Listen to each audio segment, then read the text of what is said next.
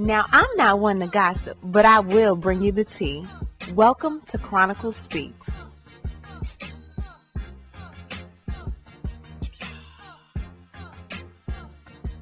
Please, please, I don't have any time for any gossip now. Eh? Yes. Look at him. I could not begin to tell you how many emails and DMs I've received in the past 24 hours about this subject. Y'all already know I was on it. So if you don't know, news broke yesterday that the beloved TV host Wendy Williams' beautiful condo of her dreams was sold 4 days ago to the lowest bidder. Wendy purchased this home in July of 2021 for roughly 4.5 million. She got a mortgage for 2.9 million, which means she put around 1.6 million down.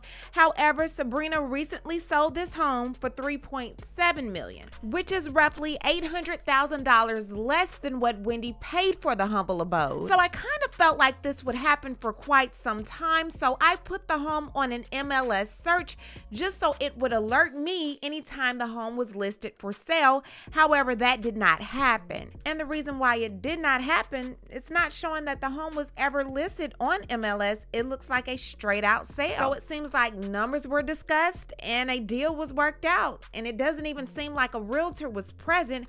However, there's homes in this same building selling for roughly four, five million dollars, almost six million dollars. So why did Wendy's home go for so low? We are going to break this story down and so much more, but before we do, please be sure to subscribe to this channel and hit the bell for notifications so you don't miss out on any news regarding this story and so much more. Now let's get back into it. Now, Wendy Williams' finances have been the topic of conversation lately, and it's not because of any fault of her own. However, it's been due to her guardian, Sabrina Morrissey. Now, Wendy, who recently had a lien placed on her Manhattan condo for over $568,000 due to balances owed to the IRS, has been locked out of her bank account since early 2022 because they're stating that she was a victim of undue influence and financial exploitation, and they also labeled her as an incapacitated person. Lori Schiller and Wells Fargo have this guardianship petition about keeping me away from my money. This is not right. And you know, this is not fair. Because of that, her family was shut out of handling business for Wendy, and Sabrina Morrissey was then granted guardianship over Wendy Williams.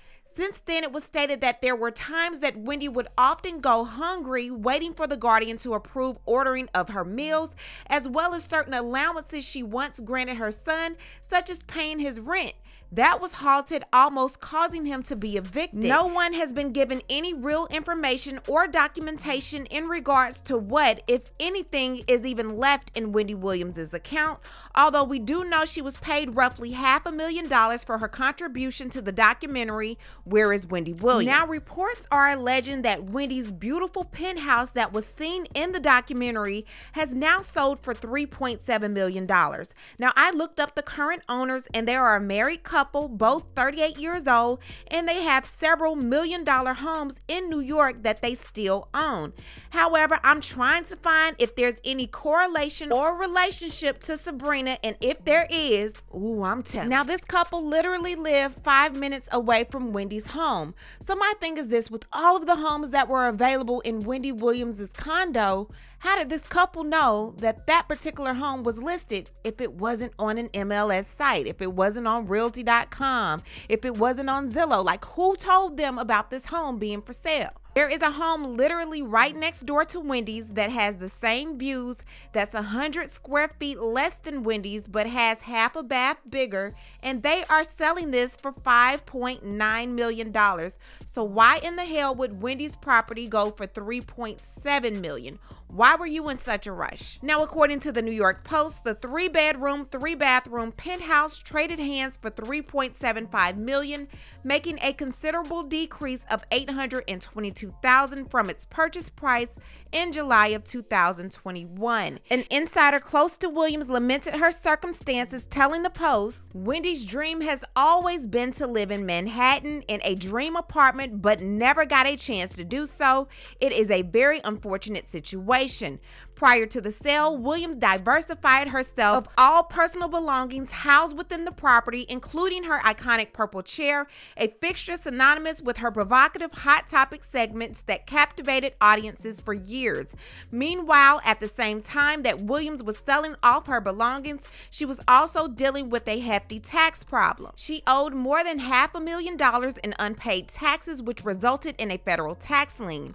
Legal documents revealed that her New York City condo purchased for $4.5 million in 2021 was affected by this lien. So I will tell you guys this anytime you sell a property and there's any type of lien placed on that property, that property cannot be sold and that new owner take on that lien. What will happen is you'll have to satisfy that lien prior to selling or they will take the funds out of the proceeds from the sale. Now, I'm not sure which was done in this situation, but I do see that the lien has been satisfied. Now, we all know that it's been claimed that Wendy had been diagnosed with frontal temporal dementia and aphasia and had been deemed incapacitated. Now, one could only assume that because of the progression of this disease and the inability to not only slow it down, but the inability to cure it, the guardian made the executive decision to sell Wendy's property, being that she would not be capable to fully enjoy the home. Also, since Wendy is unable to enjoy the property, what is happening with the proceeds from the sale of such property, since Wendy can't do anything with that either? Is that going to Wendy's pocket? The fact is, Wendy warned us a while ago about people stealing money from her and they tried to make her sound crazy.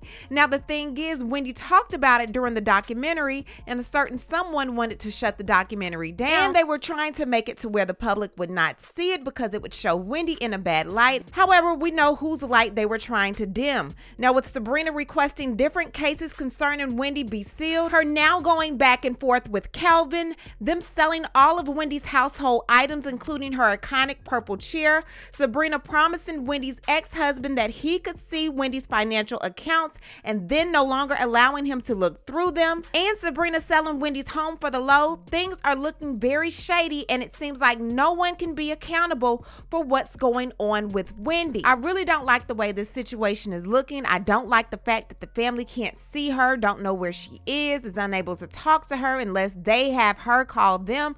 Like it's just too much going on.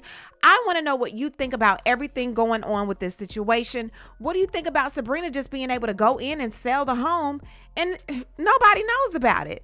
Leave a comment and you know how we do. We'll talk about it down below.